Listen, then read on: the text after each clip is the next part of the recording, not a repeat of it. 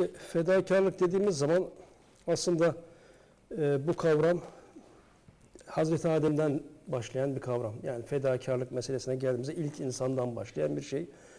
E, Tabi Hazreti Adem'den Efendimiz sallallahu aleyhi ve sellem dönemine kadar gelen bütün peygamberlerin hayatlarına baktığımızda da Evet. pek çok fedakarlıklar yapıldığını görüyoruz İslam dini için. Yani Mevla'nın rızasını kazanmak ve e, gönderilen, kendi üzerlerine gönderilen şeriatların devamı, insanlara bunların aktarılması konusunda pek çok fedakarlık örneğini görüyoruz. Tabii bunun en zirvesini Efendimiz döneminde başlıyor. Yani bir insanın yeryüzünde yaratıldığı, yaratılan insanlar arasında en fedakarlık dönem neresi ya da en fedakar insan kimdi dersek burada elbette ki Fahri Kainat Efendimiz Hazreti Muhammed Mustafa sallallahu aleyhi ve sellem gelir.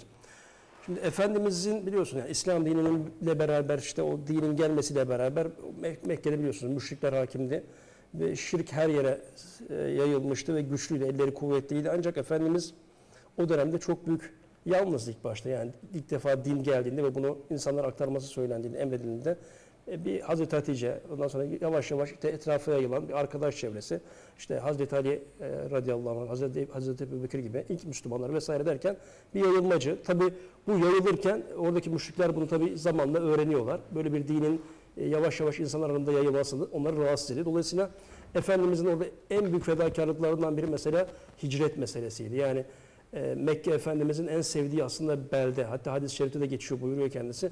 Bu beldeden asla ayrılmak istemediğini ancak onu zorla çıkarttıklarını, mecbur kaldığı. Yani mesela bir e, insanın bir memleketini, bu doğup büyüdüğü yeri önemsediği bir yeri bırakması bir hicret olayı çok büyük bir fedakarlık örneğiydi.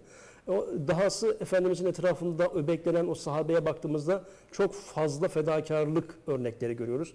İşte savaş esnasında Efendimizin önünde Efendimiz'e cep olup e, süratle gelen bir oka kafasını uzatması ve gözden yaralanması. Evet. İşte bir sahabenin kolunu uzatarak e, kolunun kopması örnekleri.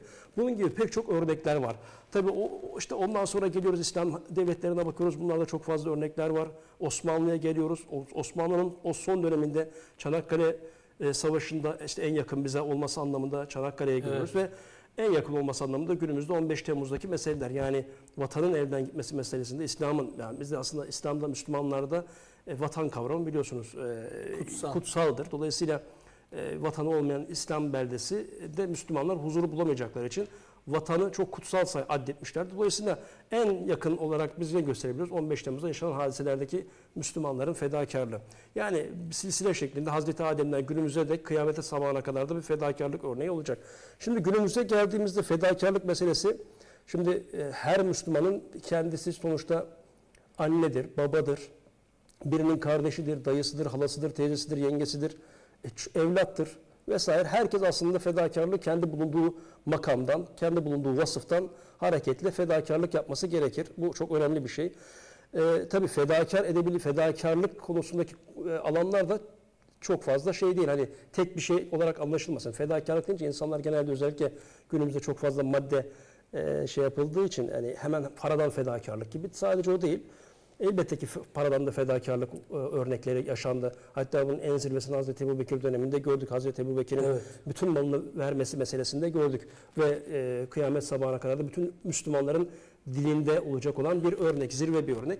Yani o günden bugüne pek çok e, malından fedakarlık eden insanlar da oldu.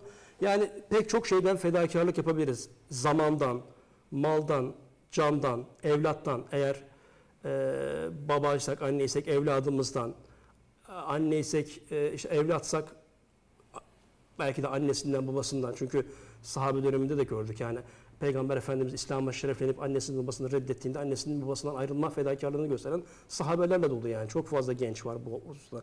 Yani herkes aslında bulunduğu noktadan bir fedakarlık gösteriyor. İslam dininde olan Müslümanların hepsinin dolayısıyla fedakar olması gerekir.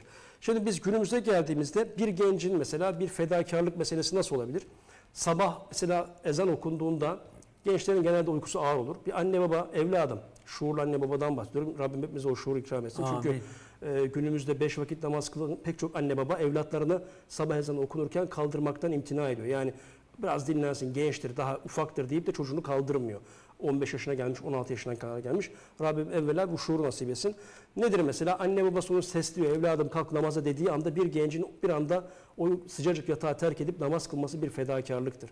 Dolayısıyla burada çok önemli bir şey. Yani basit gibi geliyor bize belki. Ne var ki namaz kılmakta yatağımızdan kalkmak öyle kolay değil. Namaz kılanlar bilir sabah namazına kalkanlar. Dolayısıyla bir gencin bu e, özellikle şu sosyal medyanın çok fazla yaygınlaştığı ve zinanın böyle e, bir göz açıp kapayıncaya kadar çok kısa bir anlık mesafeye düşmesi. Burada bir gencin sosyal medyada haram bir e, erkekse bir kadına, bir kıza bakmasından gözlerini sakınması bir fedakarlıktır. Çok büyük bir fedakarlıktır. Yani bugün pek çok ortamda artık e, modern çağ deyip de flörtleşmeyi çok normal gördüğümüz şu çağda bir gencin İslam dışı, nikahsız bir beraberlikle flört etmekten kaçınması çok büyük bir fedakarlıktır. Yani çok fazla örnekler verilebilir. Ee, yani dediğimiz gibi bir anne babanın evladını sabah namazına kaldırma şuuru ve evladının o işte sıcacık yatağında yatıyor ya demeyip onu kaldırması büyük bir fedakarlıktır. Yani e, günümüzde baktığımızda herkesin mesela biraz önce örnek verdiniz ya bir babanın haram kazanç elde etmemek adına hiç mücadele etmesi, helal kazanç sağlayıp çoluğuna çocuğuna eşine bunu nedir e, helal kazanç getirmesi için mücadele vermesi büyük bir fedakarlıktır günümüzde. Yani e, günümüze baktığımızda pek çok fedakarlık örnekleri var. E, ama e, şu anda en çok dikkat edilmesi gereken şey bence gözlerin zinası meselesi ve onun peşinden gelen fiili zina meselesi. Çok fazla çünkü e, günümüzde çok kolaylaştı bu işler. E, yani bir de kolaylaşması da ayrı bir mesele, bir de normalleşmesi de çok tehlikeli. Çünkü artık gençlerin sokak ortalarında veyahut da ulu orta insanların e, gayri ahlaki ilişkilerini gözler önünde serip yapmaları artık çok normalleşti. İşte e, dolayısıyla bence en büyük fedakarlık ne diye sorarsanız bana günümüzde insanın zinadan uzaklaşması, kendini zinadan koruması e, Allah bunu haram kılmış. Ben bundan vazgeçeceğim diyerek gerçekten nefsine hakim olması ve bir de çok yaygın olan bu dedikodudan, kovuculuktan, laf taşımaktan, söz taşımaktan, insanları birbirine düşürmekten ve fitnecilik yapmaktan uzak durması. Bunlar günümüzün, çağımızın en büyük bence fedakarlık örnekleri diyorum. Kimseden şey istemiyoruz yani hani lan çıkın savaş meydanlarınızı, kolunuzu, bacağınızı kesin, verin filan. Öyle bir şey yok ama emin olun e, belki o aklımıza şey gelebilir, savaş anında o kolumuzun kesilmesi daha ağırmış gibi gelebilir ama emin olun bugün gözlerimizi şu cep telefonlarımızda haramdan sakınmak kol kesilmesinden çok daha zor geliyor insanlara. Öyle kolay gelmesin, çok ağır, daha ağır Evet, aslında. evet, Çünkü adam evet. diyecek ya nasıl ağır? Öyle değil. Yani hadi bakalım sakındır bakalım sakınabiliyor musun? Savaş anında o savaşın psikolojisiyle o hengamede yani belli duygular kabarıyor ya o esnada kolunu uzatabilirsin ama şu rahatlıkla bu rehavette telefona bakıp da o haramdan uzak durmak emin ol o kolu uzatmaktan çok daha zor. O yüzden Rabbim hepimizi muhafaza etsin diyorum. Böyle bu, tür, bu tarz şeyler söyleyebilir hocam. Şimdilik ben çok fazla uzattım lafı. Yok estağfurullah. Derseniz Mustafa hocamıza dönelim.